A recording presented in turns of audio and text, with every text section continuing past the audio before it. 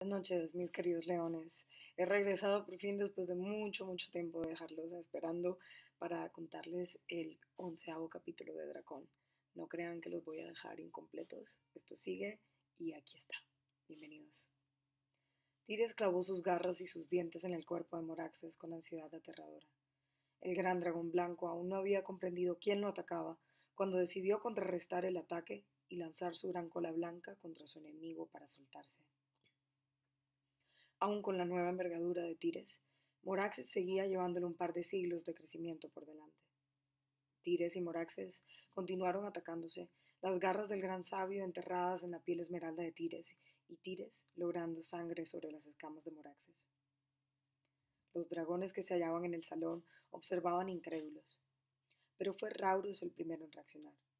No dudó un segundo y se sintonizó con Tires tan profundamente que logró anular su deseo de venganza y la necesidad de contraatacar. Tires se tornó lánguido y sus ojos se perdieron en las columnas del gran salón. Justo cuando Moraxes iba a lanzarse una vez más al ataque, dos dragones intervinieron para sujetarlo. Moraxes estrujó y se retorció, pero pronto comprendió que no tenía sentido seguir intentando. Tires había sido como un hijo para él después de todo. Silencio. Solo las respiraciones fuertes de Tires y Moraxes se escuchaban con claridad. Rauro se acercó a su líder y agachó la cabeza. Tires no podía creer lo que estaban viendo sus ojos. He regresado, gran sabio.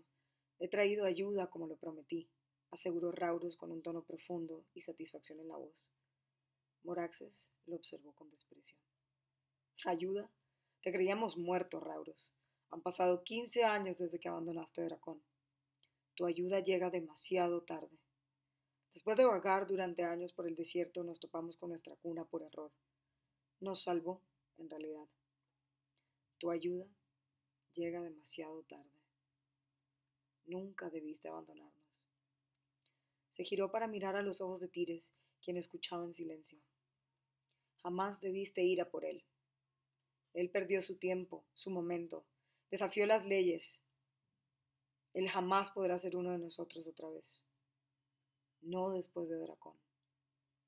Su voz se perdió en un hilo, como su fuerza, y la tenacidad que había mostrado hace unos minutos al enfrentarse a Tires.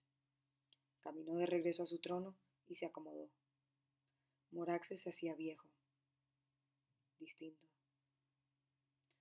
Gran sabio, Tires es uno de los nuestros. Ha pagado su condena suficiente tiempo y... En ese instante, Tires se abalanzó sobre Raurus y lo empujó a un lado, lanzándolo contra el piso. No. No rogarás por mí. No rogaré ante él. He cumplido una condena injusta, regresado para ver a mi hogar destruido y a un líder incompetente. No me quedaré. No me quedaré a ver a los míos sufrir. Si Jefes pudo construir esto, yo construiré algo mejor. Y allí no habrá cabida para ti, Moraxes. Tú eres un gran traidor. Tire se dio media vuelta y habló a aquellos dragones que escuchaban atentos. Vengan conmigo a reconstruir Dracón, a recuperar nuestra casa. No me quedaré aquí, escondido entre las dunas y el cristal como un cobarde que no puede mostrarle el camino a los demás. Tire se dio media vuelta y emprendió su rumbo hacia la plaza a la cual había llegado. Algunos dragones asintieron, otros se quedaron estáticos. Moraxes gruñó y amenazó con su mirada a los dragones que titubeaban. Pero fue Raurus quien siguió sin dudar a Tires. Estaban unidos, y a donde el uno fuera, el otro lo seguiría siempre. Y esto ha sido el 11 de Dracón, mis queridos leones. Espero que les haya gustado y que se pasen otra vez por cuentosdeleón.com y me dejen todos sus comentarios sobre lo que les parece mini saga. Los veo el próximo martes con el 12. Un beso.